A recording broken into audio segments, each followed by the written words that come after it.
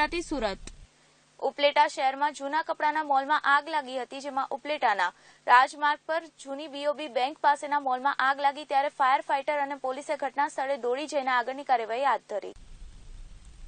ઉપલેટા શહેરમાં જૂના કપડાના મોલમાં આગ લાગી છે, જે ઉપલેટા શહેરના રાજમાર્ગ પર જૂની બીઓબી બેંક પાસેના મોલમાં આગ લાગી હતી.